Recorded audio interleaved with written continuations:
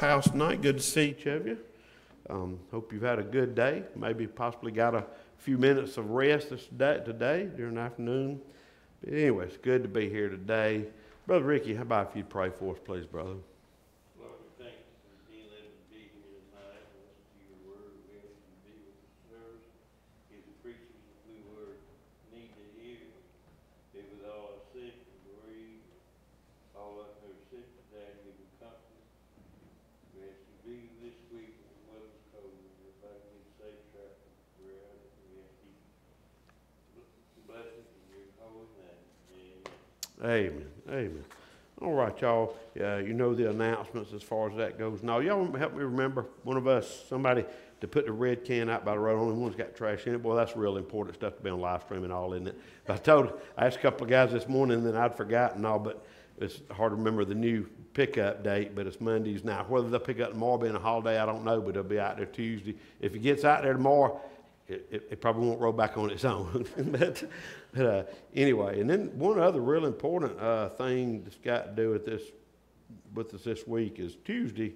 Somebody's having a birthday. He's going to be turning 53 years old. Isn't that isn't that how old you are, brother? Okay, okay, 57, 58, something like that. Let's sing happy birthday, Brother Scott. We'll make, make sure, okay, and Sister Bonnie will sing it for her too. She may be watching on live stream as well.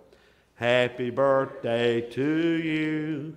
Happy birthday to you. Happy birthday, God bless you. Happy birthday to you and many more. Amen. All right, y'all. Well, come on, lead us in another good song, brother. Let's turn to page 474. I'd rather have Jesus. I'd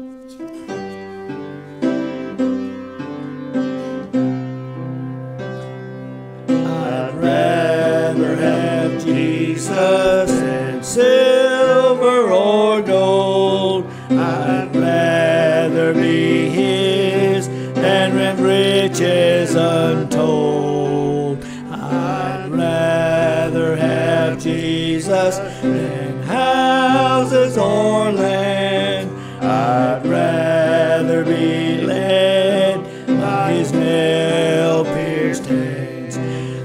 To be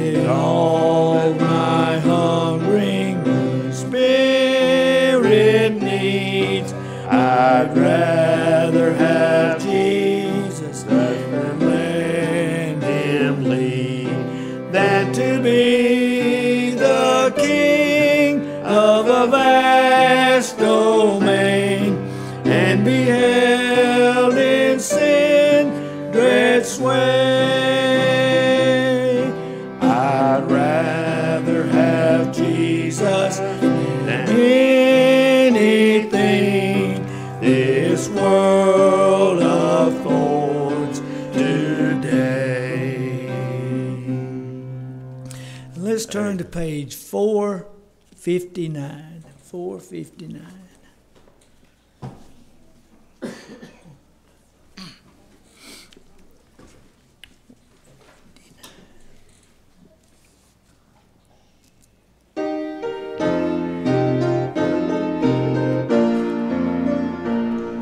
Like the woman at the well, I was seeking satisfy. And then I heard my Savior speaking from the well that never shall run dry.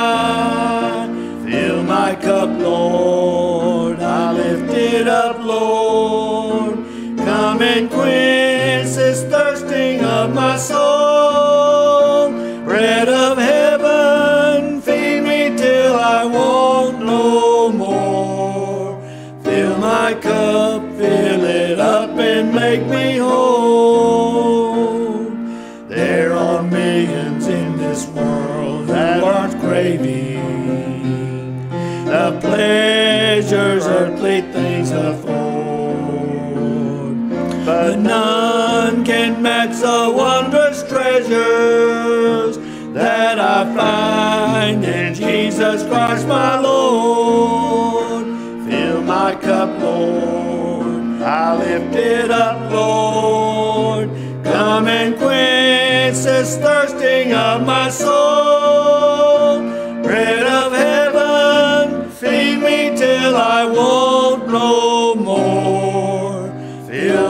Cup, fill it up, and make me whole.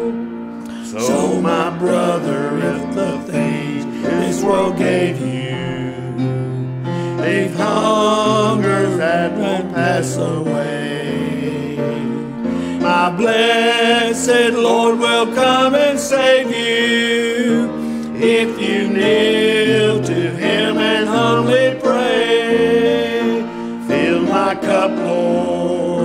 I lift it up, Lord.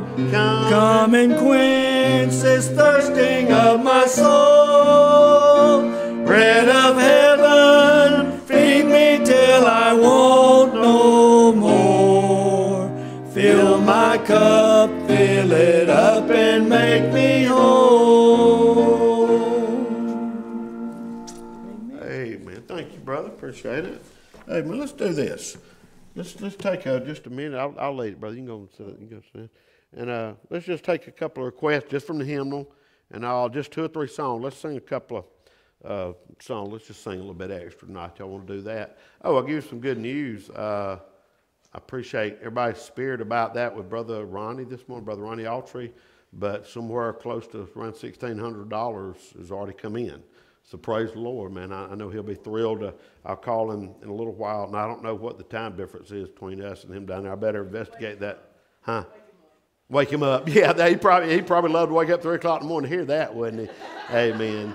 But uh, I know he'll be thrilled, and also if you want to continue, I mean, we're still going to got you got about an hour to, to, to add to that if, if the Lord leads you to do so. But uh, I, I was thrilled to find that out today, and amen. Praise the Lord. Can't outgive God, and uh, I believe missions is God's heartbeat. Lord, Lord bless it. Lord bless the church for, for giving and being faithful in that. All right. Anybody got a favorite song? Uh, wait a minute. Wow now. Okay, maybe y'all need to uh, get up and you stand over, you stand over there and y'all race and go around and first one back. okay, all right, Miss Betty. yes, she forgot what we was talking about. 297, okay.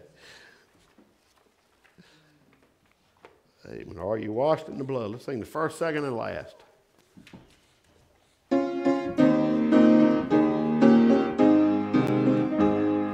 Have you been to Jesus for the cleansing power? Are you washed in the blood of the Lamb? Are you fully trusting in His grace this hour? Are you washed in the blood of the Lamb? The blood, in the soul cleansing blood of the Lamb? Are your garments spotless? Are they white as snow? Are you washed in the blood of the Lamb? Are you walking daily by the Savior's side? Are you washed in the blood of the Lamb? Do you rest each moment in the crucified? Are you washed in the blood of the Lamb? Are you washed in the blood, in the soul cleansing blood of the Lamb? Are your garments spotless? Are they white as snow? Are you washed in the blood of the Lamb? On the fourth, lay aside the garments that are stained with sin and be washed in the blood of the Lamb. There's a fountain flowing for the soul unclean. Oh, be washed in the blood of the Lamb. Are you washed in the blood, in the soul cleansing blood of the Lamb? Are your garments spotless? Are they white as snow? Are you washed in the blood of the Lamb? All right, let's do this. Third verse. Let's go back and sing the poor third verse he got left out. I, I could tell he was lonely, but let's go back and sing the third verse.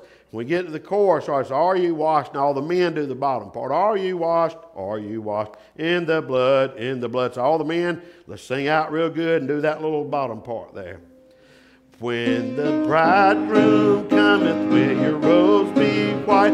Are you washed in the blood of the Lamb? Will your soul be ready for the mansion's bride and be washed in the blood of the Lamb?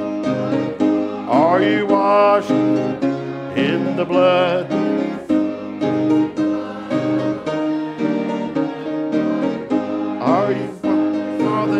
White as snow? Are you washed in the blood of the Lamb? Oops, I missed the of the Lamb, didn't I? Hey, man, Miss Jimmy, what number? 627. 627. Sandra said she knew that. Now, how did you ask Miss Sandra from up there? She's not telling. That's one of our favorites. For the child of God, it is a wonderful truth, isn't it? All right, y'all stand up. Let's, if you can, let's stand. There is coming a day when the heartache shall come. No more clouds in the sky, no more tears to dim the eye. All is peace forevermore What a day, glorious day that will be.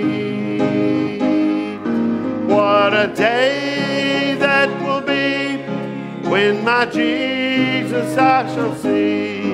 And I look upon his face, the one who saved me by his grace. when he takes me through the hand and leads me through the promised land. What a day, glorious day that will be. There'll be no sorrow there, no more burdens to bear, no more sickness, no pain, no more parting over there,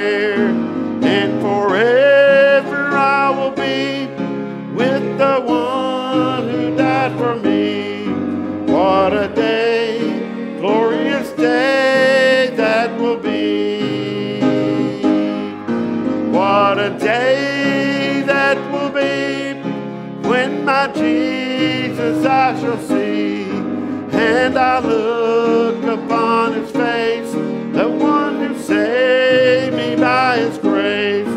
When he takes me by the hand and leads me through the promised land, what a day, wonderful day that will be. What a day, glorious day that will be. Amen. You can be seated. Amen. Three or four songs would have been fine, but I think we to just leave it right there. Oh, Sandra said oh, getting to her arm a little bit. It's a good thing we, good time to leave it to leave it. What is 13? Huh? Bow the knee. Um, let's do it a cappella. She just grabbed her arm and said, and uh, so let's, let's, we can do it a cappella if y'all want to.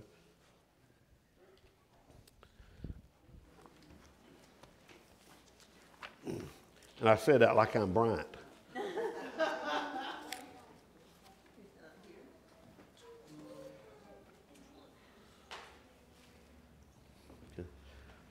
All right, page 13.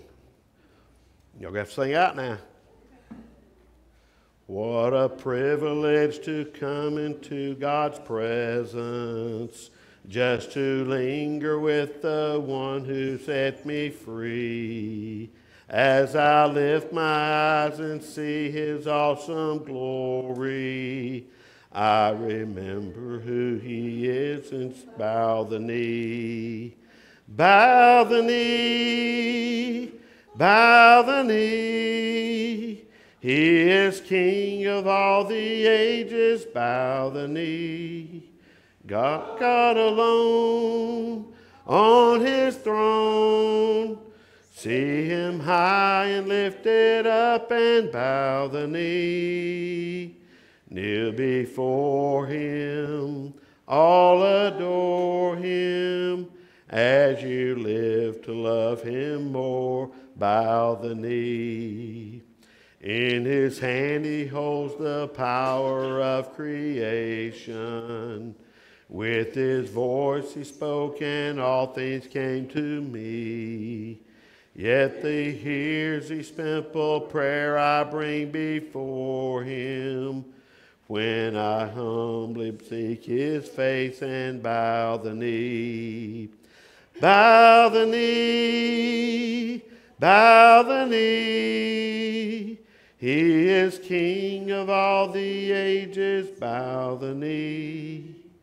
God alone on his throne. See him high and lifted up and bow the knee. Kneel before him, all adore him. As you live to love him more, bow the knee. Amen. Amen.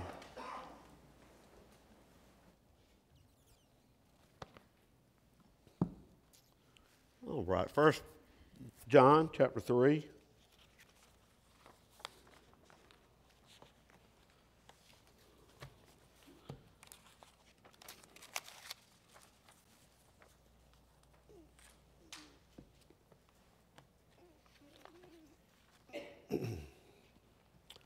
All right, going back to that text from this morning.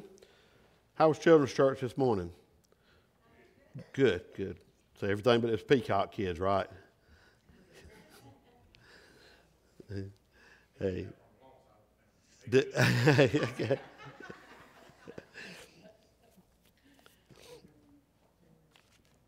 Amen. All right, 1 John chapter 3. Uh, Behold, what manner of love the Father hath bestowed upon us, that we should be called the sons of God. Therefore the world knoweth us not, because it knew him not.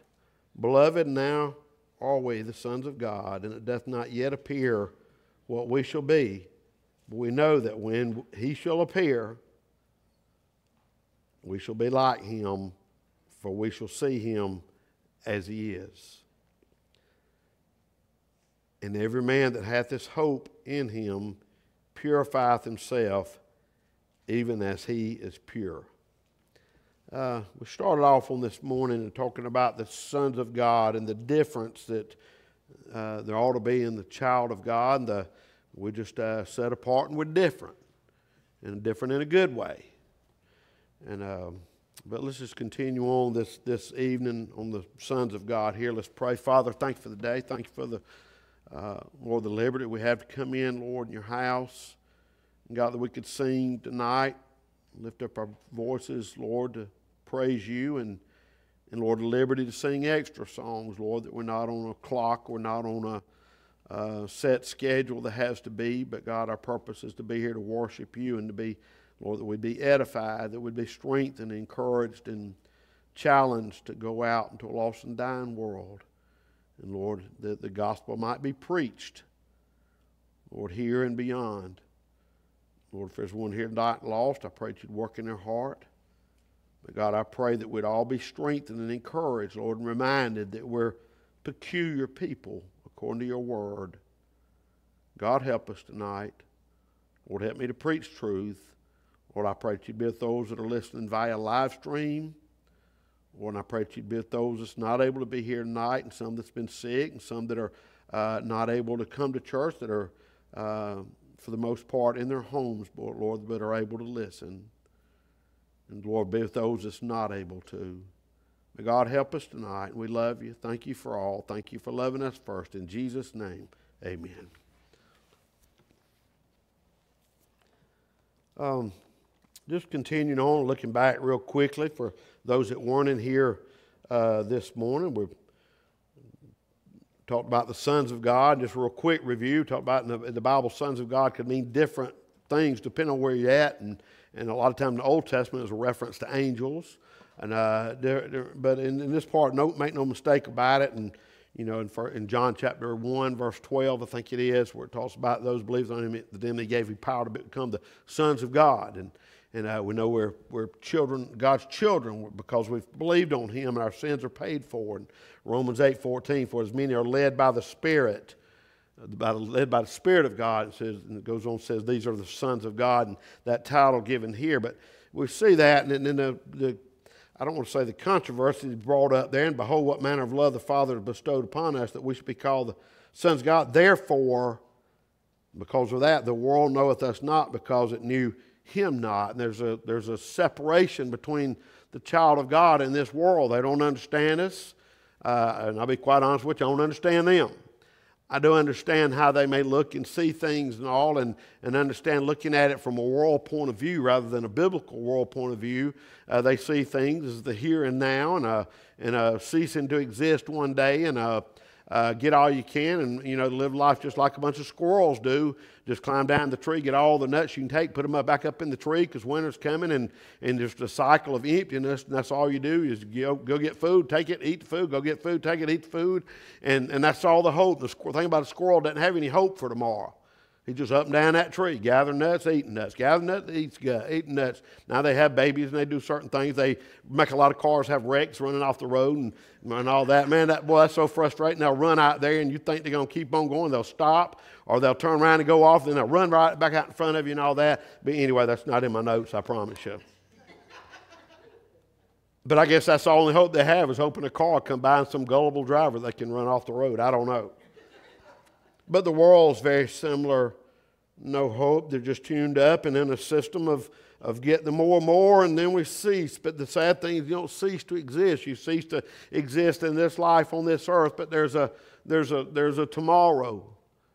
And the sun's coming up in the morning for the child of God. the fireplace is lighting up for those that are lost and without, that'll spend eternity in hell. Isn't that sad? But we see the things there and talked about, these things, the leading of the heart, the changing of the heart, and the, the, the Bible talks in a place of He'd give us a new heart, put a new heart inside us, give us a new heart. Talks about a, uh, a surgery uh, in, the, in the heart area, not necessarily not in the, the muscle that pumps, but the, uh, that surgery not done with hands, but that spiritual surgery the Bible talks about that takes place when we get saved, the cutting asunder of the flesh and soul and spirit and so forth and, and, and such. But we talk about this heart ought to be a holy heart. Uh, in, in those places, says, in, uh, whosoever commits sin transgresseth also the law, for the sins of transgression of the law. In verse 3, before that, verse 4, verse 3 says, And every man that hath his hope in him purifieth himself, even as he is pure. And, and the sons of God, we ought to have a desire to have a holy heart. We ought to have a happy heart. And the joy that I preached about Wednesday night, last Wednesday night. Sometimes we have a heavy heart. We ought to have a heavy heart. Now, we do because of a lot of other things, but the heaviness of heart I'm speaking of is a heart of heaviness for those around us that are, that are lost and without Christ and don't have the hope that we have. They're not the sons of God. They're technically, I mean, biblically speaking, they're the sons of the devil until they become sons of God. Even though they may not follow after, may not even believe in the devil, they still are in his clutches and in his grips, and they'll spend eternity with him unless they repent and turn to Jesus Christ. So their heart, the sons of God, our hearts are different. The sons of God, our hunger ought to be different. The things we're looking after, it says, and every man that hath this hope in him purify himself. Why would purify, purify ourselves? Because we have a desire to be pleased. We have a, a hunger in our, in, our, in our being, in our new heart to, to be pleasing to the Lord. We ought to have a, a hunger to think like him. And the first point on that, the hunger to think right. Thou will keep him in perfect peace, whose mind is stayed on thee. Doesn't say whose eyes is stayed on thee, it says whose mind is stayed on thee because he trusteth in thee. Our, to talk right. We ought to have a hunger to talk right. Talk things of the world, I mean, of the, of the Lord and spiritual things. Talk about things above. Talk about things with eternal value. It says, O generation of vipers, how can ye, being the evil, speak, speak good things? For out of the abundance of the heart the mouth speaketh.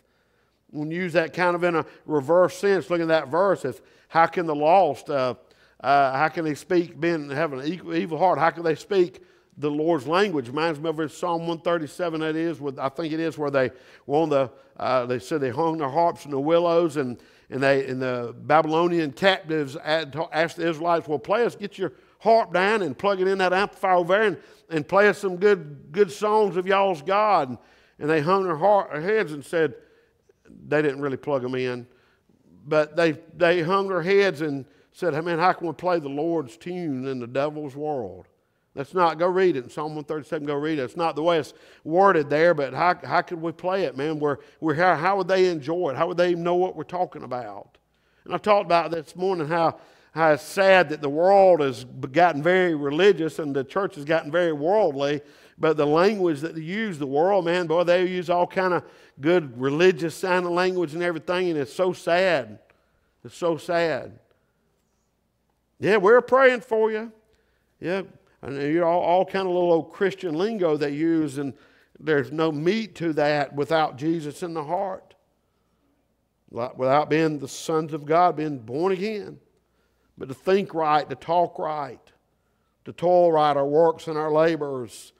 Uh, you should know them by their fruits. Do men gather grapes of thorns or figs of thistles, and surely not get grapes from grapevines and figs from fig trees, not from the briars and the thistles.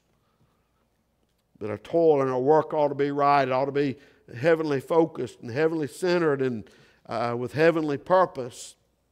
Even uh, trash man we used to call them trash men. I'm sure they have a better title from that. And actually, now that's a pretty good job, by the way. They make pretty good money and have pretty good benefit package and all that. I wouldn't mind driving a trash truck nowadays. It ain't so bad. But I remember when I was a little boy, man, there's two of them rode on the back of the truck and they'd stop. Truck, truck stop. They'd walk to the backyard. They'd fight my bulldog and they'd get them old metal cans, walk all the way out the road and dump them in there and go back and put them back. And man, that dog hated, hated trash men.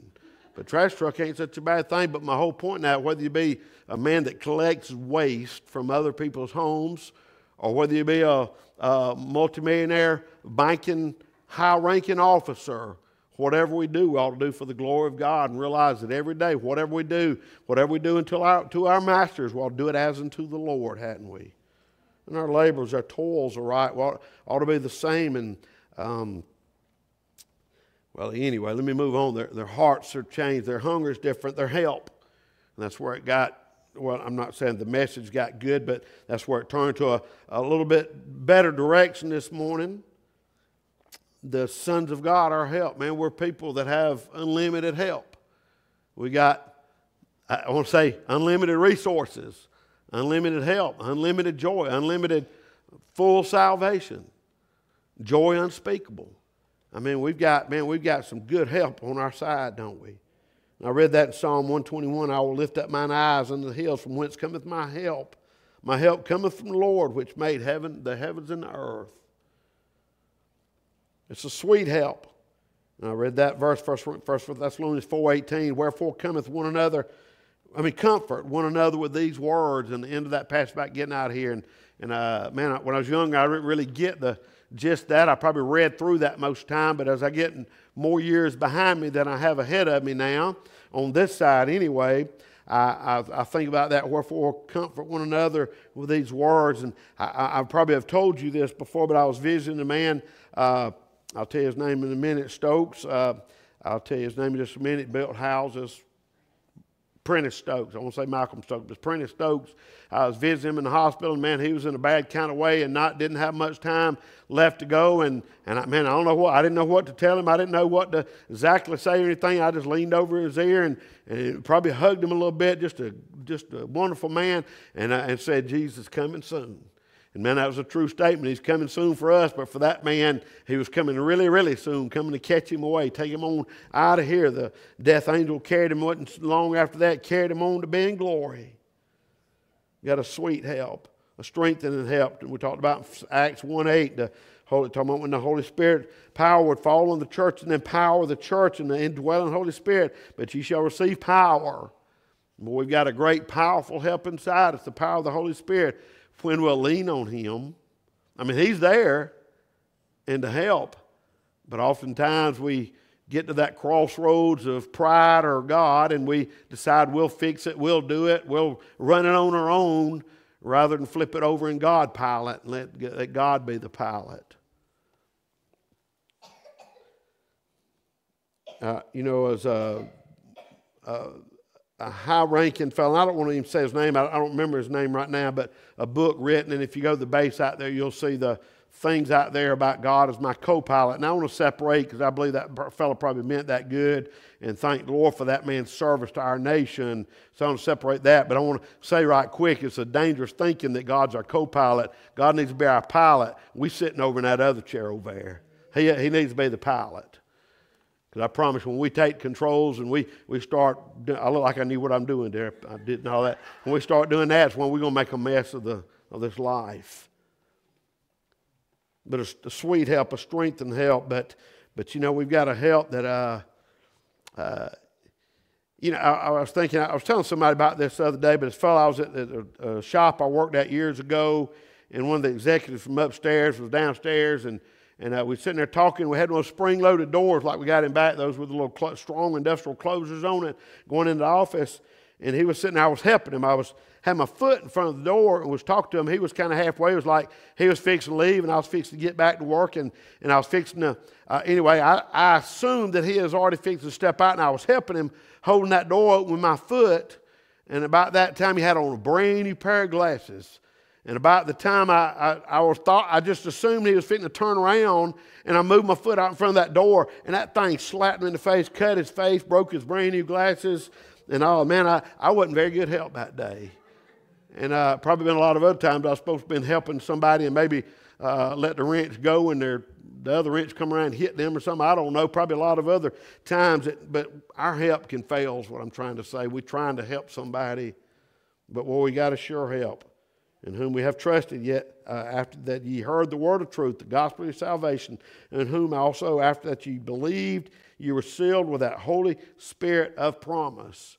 Boy, it's a sure help, it? He's, he's sure. It was sealed and we're, it's rock solid. Talk about a hindrance as the sons of God, us as God's children.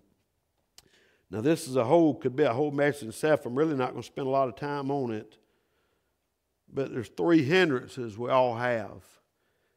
And a lot of times we, I'm going to start with what we might think is the worst one. We blame it on the devil. Y'all remember Flip Wilson? The devil made me do it. The devil made me do it. But we do that a lot of time. We say, yeah, the devil made me do this or let no, the devil didn't do it. The devil cannot, as a child of God, the devil cannot make you do anything. And though it goes back to it, we sin because we choose to sin. But he will inflict us any way he can. He will use anybody that'll allow him to use them to cross us up, to hinder us. Talking about hindrances, our heart, our hunger, our help, our hindrances. He'll do anything he can to beset us.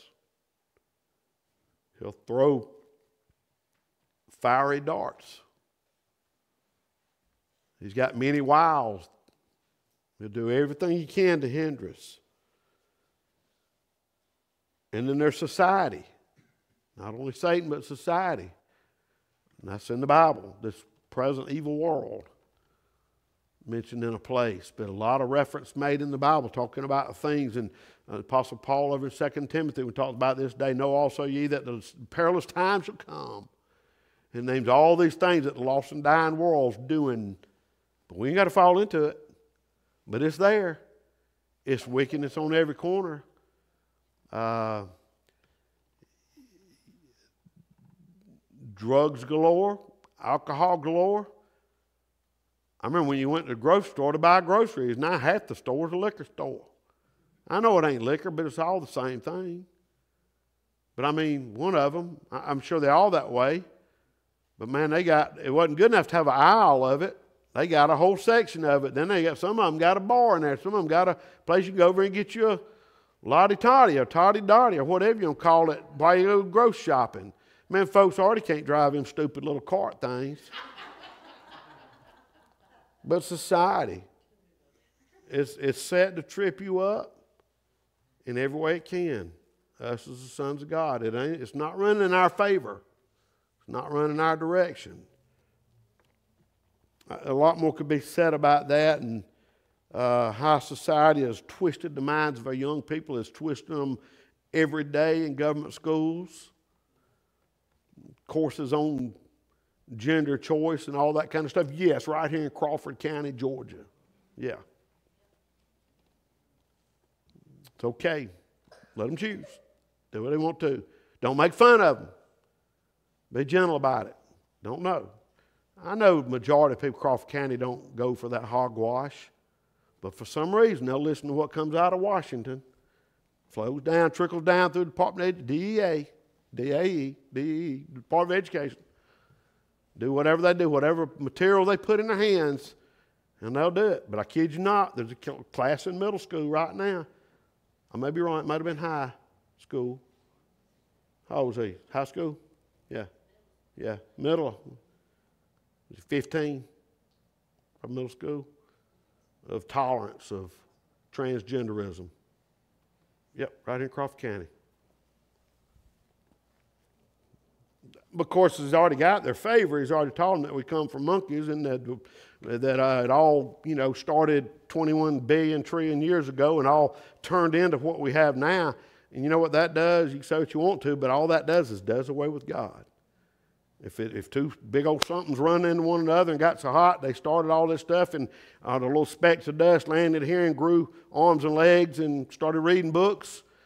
If, if all that could just happen out of the natural realm of things, we don't need a God. We can be our own gods. This world is not your friend. The society we live in is not your friend, I promise you. Not in tune with us, and we ought not be in tune with it. But the hindrances, but you know what? I can say all I could about oh Satan, our adversary, and all the powers he has and powers he does, but it's limited power. I can say all I want to about society and all the woes of society that's so set and pitched against us. But you know what? The biggest battle I fight every day is not Satan or not society, but is me, itself.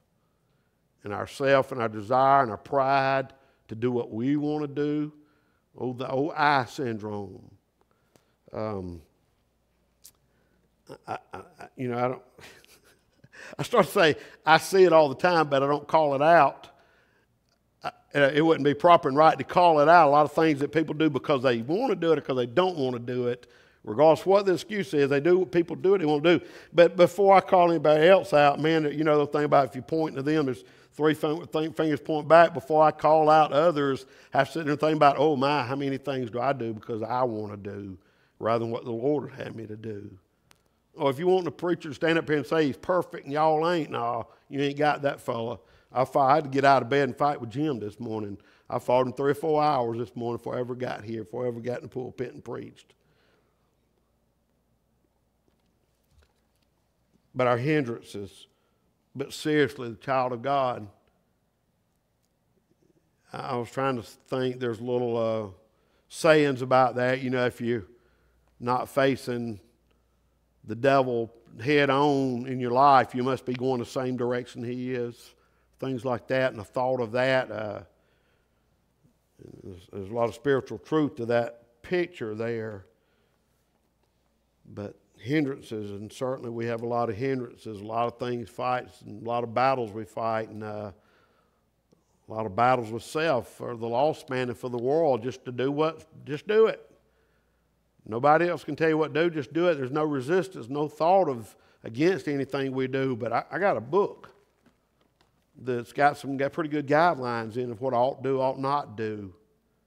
But bigger than that, I got a Holy Spirit of God pushed, not bigger than that, but as well as that, I have a Holy Spirit of God dwelling in me that, that woos me when I head in the wrong way in the wrong direction. Sometimes, man, you get in that fight, you get in that battle of you want to do what you want to do, and the Holy Spirit of God saying, No, that's not what you ought to do. I mean, that's a, that's a battle the world knows nothing about. Matter of fact, that's a battle a lot of Christians know nothing about because they just so, so easy to just take and do what you want to do rather than what the Lord would have us to do. But we all fight that, and that's a hindrance. Old dual nature. The old man and the new man. Let's move on a little bit, kind of, kind of the same lines a little bit. The hardness. we face some things as children of God, as sons of God. There's a hardness of service. Uh, 2 Timothy 2 3, the Bible says, Thou therefore endure hardness as a good soldier of Jesus Christ. Now, soldier, we talk about the battle and all that. I've kind of already talked about the battles, the spiritual battles we fight, and the things we must take a stand. I, I don't know where it's going to go. You know, I've heard things uh, recently of all the uh, wickedness going on in our land and the things that's been accepted. And I don't know at what time do you take up, I don't want to say use the word take up arms here, but, uh, but at what point and what, at where, at what level are we proper to stand and fight for things? I mean, the babies that's murdered in this country every day. The doing away with right and wrong, the, the transgenderism and all that, and the, the, not only the fact that, that a seventh grader may be confused about it, but to a school board that says, well, it's okay.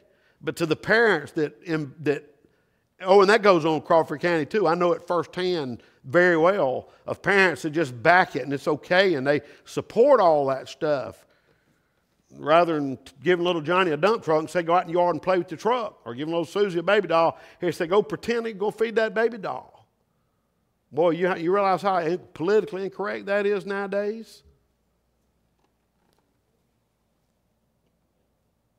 I played with baby dolls when I was a little boy. I had three older sisters. I'd tear their heads off of them. They could drive dump trucks, little Tonka trucks, and everything.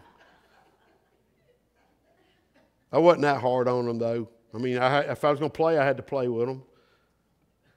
I'd help them. They make clothes. They get cloth out and scissors and thread, and they sew out little stuff and try to make some baby doll clothes. I'd, I've made some tacky little clothes. Boy, I could sew a little piece of cloth together. My, my grandma, I watched her sew enough. I could sew two things together, but it probably didn't fit them Barbie dolls too good. but there's a hardness of service. Um, you know, we had to put an effort to get up this morning and come to church, particularly those of you with children. I see a smile or two in the building. Uh,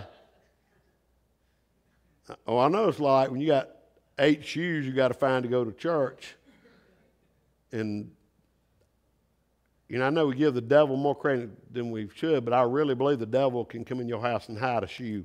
He, ain't got to hide four of them, all he's got to hide is one of them. Okay, you don't, you don't have little children in your house, don't have that, but the devil can hide these things too. But it takes some effort to serve God. It takes some effort to be at the house of God. It takes some effort to be at whatever we have or do, or whatever, not only just being here or, uh, man, to, to, tell another person about Christ, to, to, you know, to bring up, to shift the conversation, how good those smoked ribs look that I referred to this morning, how good that, uh, that smoked barbecue looks and how good them smoked chicken wings look, to shift the effort to figure out a way to, to get from that to a spiritual realm, person next, talking to the person next to you. Oh, you can do it. You can be quite crafty. And you ain't got to say, you know, these things spent the night in a fire. If you don't get saved, you're going to spend the rest of your life in fire. You ain't got to be quite that direct with it. But there's ways that we can get around and tell them about Christ. Or, you know, uh, we, the first time it's been in a store where you live close by. By the way, we go to Hardison Baptist Church, just right up there, turn left. Well, from there you turn, yeah, turn left right before you get Dollar Tree and go out about three or four miles on the right. And we'd love to have you visit with us Sunday that may open a door to talk about more things. But I'm just trying to say there's a hardness of service. Sometimes flesh don't want to, the world don't want to, your own family probably don't want you to be faithful and to keep on serving, just keep on keeping on. They don't understand why you don't just take off Sunday, go to every family union that's always on Sunday. They don't understand why you don't participate in all the devil's holidays, why you don't do this, why you do that, and they don't understand all those things. But man, the sons of God, we're, we're, we're set different. We're headed in a different direction. We ought to live different. We ought to be, be different. There's a hardness to service. There's a hardness to sin for a child of God. Lost folks can just carry on with it. Now, the make please know the, the statement is always true, and I know it's a great, big, huge statement that the wages of sin is death. And I know ultimately sin separates from a holy, righteous God, and there's a need of salvation.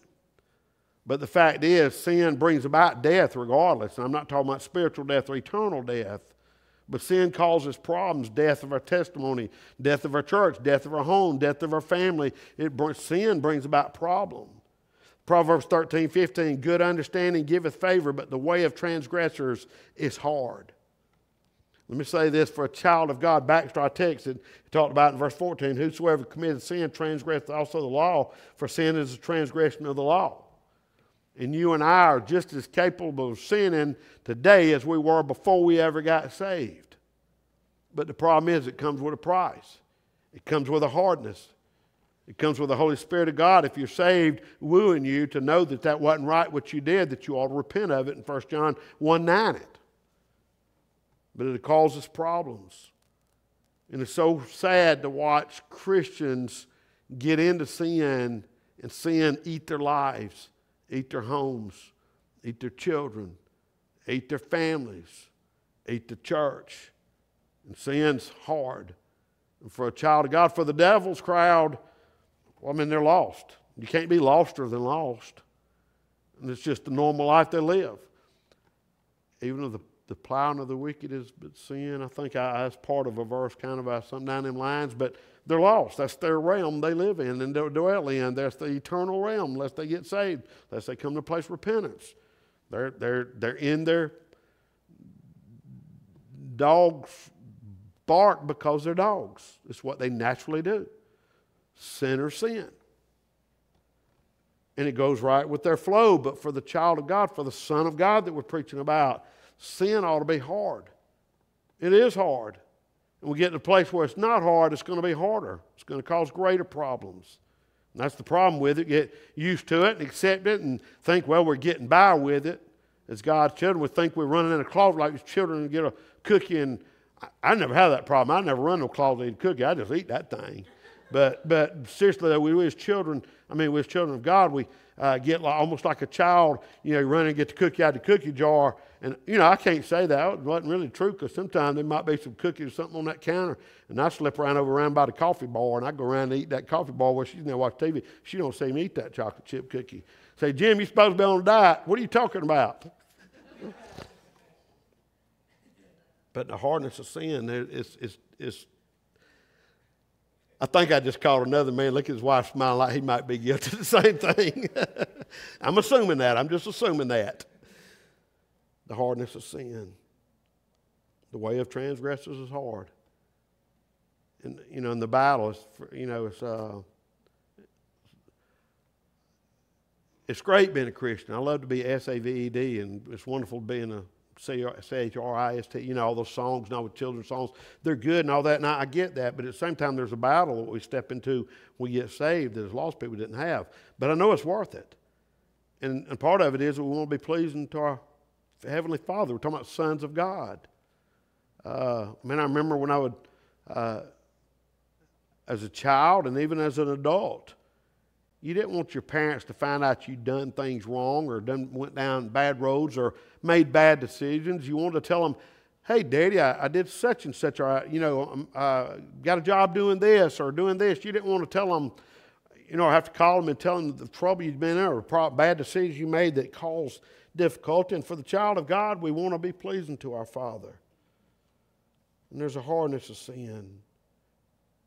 And for the child of God, there's also that hardness, the sons of God, there's a hardness of suffering. 2 Corinthians 11:30. If I must needs glory, I will glory of the things which concern mine infirmities. Put your, uh, if you don't have your ribbon there on 1 John 3, put it there. You're just going to go back a couple pages. Go back to 1 Peter chapter 4. In 1 Peter, a good portion of the book is dealing with suffering. But 1 Peter chapter 4, starting verse 12 says, Beloved, think it not strange concerning the fiery trial which is to try you, as though some strange thing happened unto you. But rejoice, inasmuch as you are partakers of Christ's sufferings, that when his glory shall be revealed, you may be glad also with exceeding joy. Wow. If you be reproached for the name of Christ, happy are ye, for the Spirit of glory and of God resteth upon you. On their part he is evil spoken of, but on your part he is glorified. And see, it's our portion, it's our part. We're going to suffer for the name of Christ. Now, a lot of times it's contingent on how faithful we are, how service we are. I mean, how service we are, uh, how, how, much we serve the Lord, how much we live for Him, how separated we might live our lives and all. But the closer you are to the Lord, the more you're going to suffer for it in this world.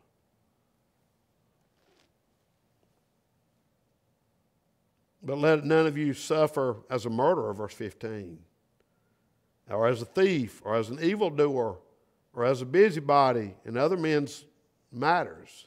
Yet if any man suffer as a Christian, let him not be ashamed, but let him glorify God on his behalf.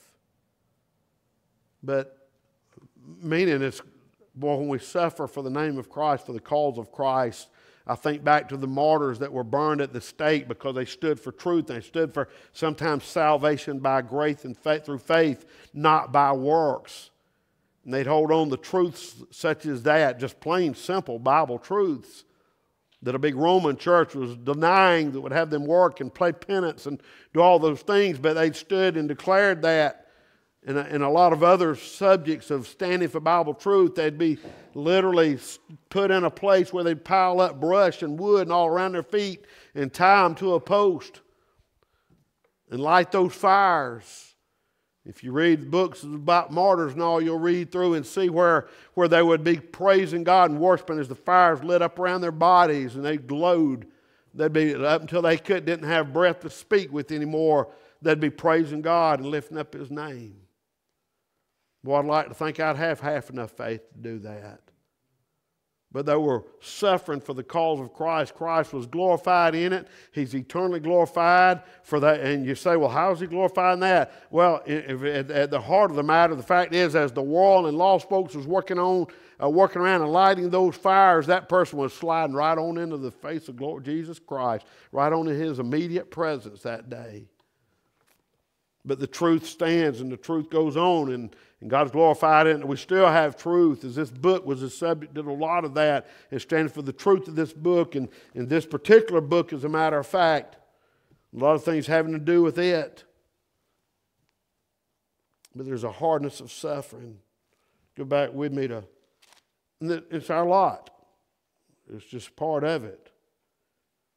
It would be so easy, just don't stand for anything, but it wouldn't be pleasing to our Lord. The Lord would have us to stand for some things, to take a stand, and we do, it'll cost us.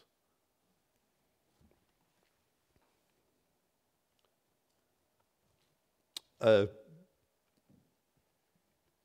very dear person in my life worked a job making products he wasn't pleased with, but it paid good money. He worked there for several years. They wanted him to go and march for the rights of the product they made. He didn't feel at peace with it. He's walking with and does very much so today, very faithful in his church.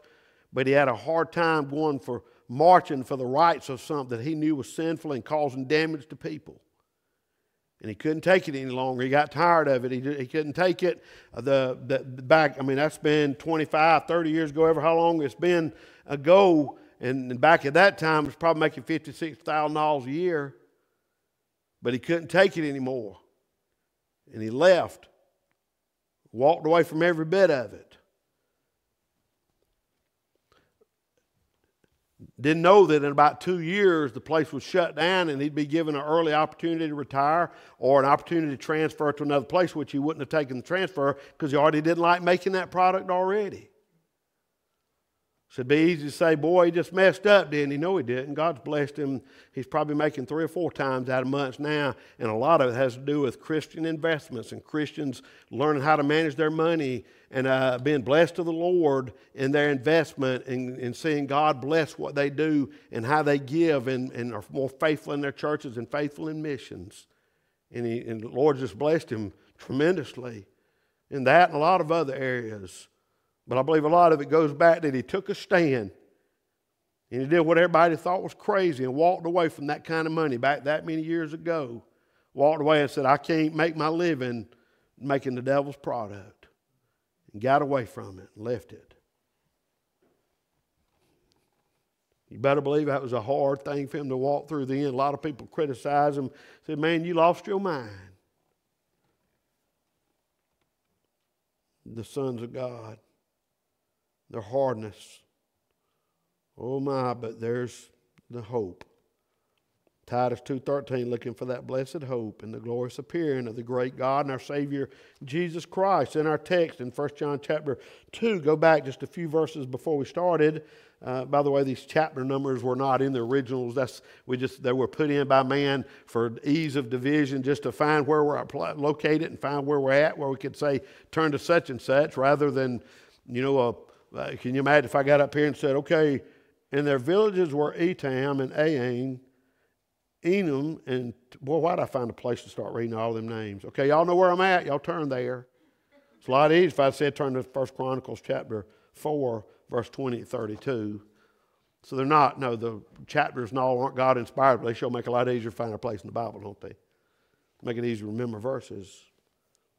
But right before we started in First, First John chapter 3, Go down to 1 John chapter 2, verse 25. Let's read 24. It says, Let, let that therefore abide in you which ye have heard from the beginning. If that which ye have heard from the beginning shall remain in you, ye also shall continue in the Son and in the Father.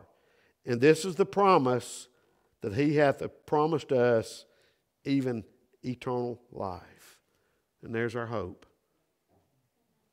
There's a promise. Our hope is built on the promises of God.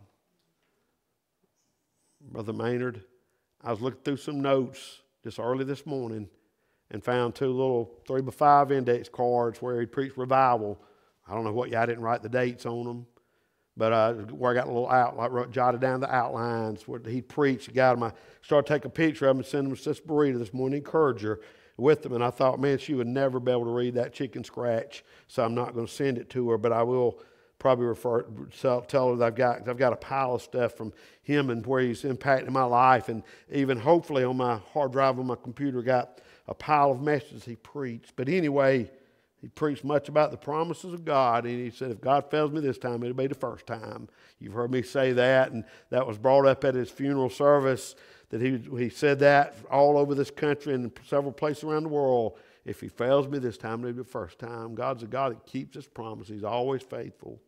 And we have a great hope in that, in the promises of God. It's all bound up by the Word. He's not going to break His Word. He's truth. God cannot lie. He, he is truth. He's the, he's the person of truth. He is truth. He's not going to lie. He's not going to forget what He said. He's not going to change His mind. It's solid. The promises of God are there. And our hope is based on that.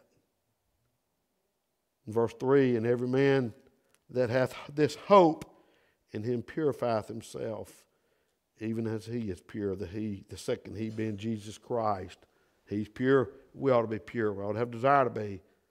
Why? Well, we got that hope inside us. We want to be pleased our Father. We're heaven bound. We want to be cleaned up. We want to be uh, all we can for our Heavenly Father. But our hope is in a promise. Our hope is in a place. We just sang about it. What a day that'll be. In that song, though, you don't so much, goes, goes to the third point under this point, because you don't so much talk about heaven and the splendors of heaven and all those things. Because when it's all said and done, the splendors of heaven, the splendors of heaven aren't really what's going to matter. It's going to be the splendor of heaven. There's hope. Our hope's in promises. Our hope's in a place, but ultimately our hope's in the what a day to be when my Jesus I see, my Savior I shall see, in a person, Jesus Christ. And that goes on, that hope is all it's laid up, it's for sure, solid, it's settled, uh, settled on firm foundations. Everything we say is based on the Word of God, the truth of the Word of God, our hope, that blessed hope that He's coming. Hey, He's coming. He's going to catch us. We're going to take us out of here uh, by the death of the rapture. We're moving yonder. We're going to spend all eternity with Him. That'll put a smile on our face.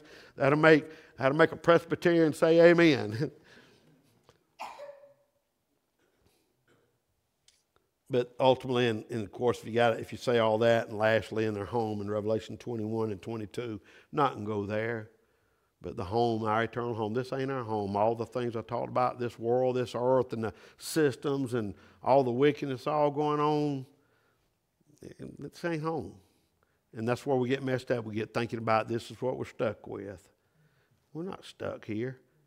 We have an opportunity to be here and all the blessings that go with it, with a few snags and thorns along the way. We've got an amazing Savior that's going to prepare a place. And we're moving yonder going to be far better. More than I got words and vocabulary and articulation and all that kind of fancy stuff. I can't describe it. I can sure imagine it, but I bet what I imagine comes, short, comes far short of the glory of God and the glory that we'll spend our eternity with. Sure is good to be part of the family of God, ain't it? Be sons of God. And uh, you know, I know that I was thinking about that through that several times through this morning and night, thinking about that. It's where we live in. There's some people probably have a problem with the Bible saying sons of God. Why don't we say daughters of God? Well, it's just in general. That's to say, the authority through the Bible has generally been uh, uh, male gendered and and, ha- and, and, and spoken of in that way. And there's versions that take all that out, by the way. But don't be offended of that. Ladies, you're included in that grace of God, I promise you. It's just a general way of speaking. God ain't a they and them God. Let me make that real clear. He ain't a they and them God. He's a whosoever will God. I'm glad I'm a child of God, aren't you? Are you a child of God? Do you know that you know that you know that if you died right now, you'd go to heaven? I'm not going to call you out. I wouldn't do that. But if I were to ask you your testimony of you trusting Christ and your assurance and biblical truth to back why you know you're going to heaven, do you have a story to tell tonight? Maybe you're struggling with something that I hadn't come within a thousand miles of this morning or tonight. What do you need to do? If you would just come up just play through a verse or something. And uh, I, I, don't know how the Lord may have worked in your heart. Um, but if you need to just talk to the Lord, do business with the Lord or something, I, I know that everybody's not physically able to come to the front.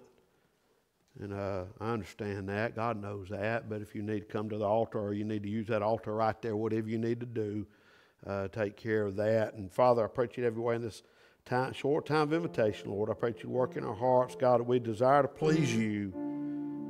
God, I'm thankful that I'm your child because of what you did that I might be. God, I'm thankful for all that goes with it. Lord, that one day I get to leave this whole place and the sin of it behind, spend eternity with you. Lord, I pray and hope that everyone here has that hope and assurance. God, also that we'd have a desire to walk closer with you, to represent you better in our remaining time on this old earth. God, we love you and thank you for all. In Jesus' name, amen.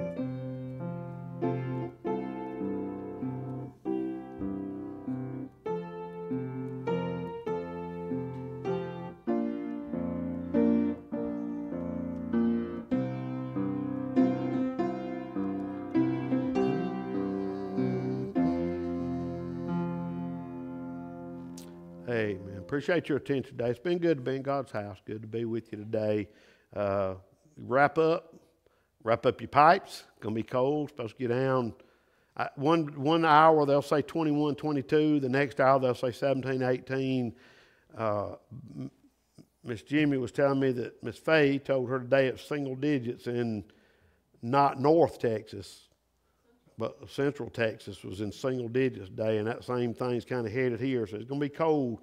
Tomorrow's supposed to be pretty decent. Tuesday, Wednesday's supposed to be colder, and then we got several freezing nights on and off for about the next week or two. But it's winter. That's what it's supposed to do. But them teens hurt. Last year, them teens cost us a lot. Uh, we're going to have to. We're, gonna, we're not going to cut the water off this year. We're going to leave it running, leave some pipes running. But we do need to. Um, well, I'll, I'll, probably just do that because I don't know how to ask it done. But we got to wrap those pipes coming out of the back of the building out yonder where they undid them last year when they worked on the well and they froze and everything. But uh, anyway, that's let's be dismissed in a word of prayer. Stay warm this week. Leave your water running. Leave your spouts open. Tell others about Jesus. Leave your big spout open where get more in there. To, the living waters, you know, they're supposed to flow in us night of us. So don't shut the in pipe off. Don't shut the out pipe off. Wrap up your pipes. I guess that's the message that might preach, hadn't it? Father, we love you. God, thank you for your goodness. Lord, I thank you for the, the flock here, the congregation, the people, Lord. Lord, I know everybody's not here tonight. Lord, I thank you for Hardison Baptist Church. I pray that you'd help us, God, to use us, to give us direction, Lord, that we would follow you in that direction. Lord, I pray that you'd keep our people warm this week. Lord God, we thank you for homes and electricity and gas and fires and heaters and things and all the things that we have that so many in the world don't have. But God, we thank you for it. I pray that you'd help us through the week, keep us safe. Lord, I pray that you'd give us opportunities to tell others about you. God, we love you. Thank you for all. We thank you most of all for dying for us and loving us first. For it's in Christ's name we pray. Amen. And all God's children said, Amen. Amen. Shake hands one another, and you're dismissed.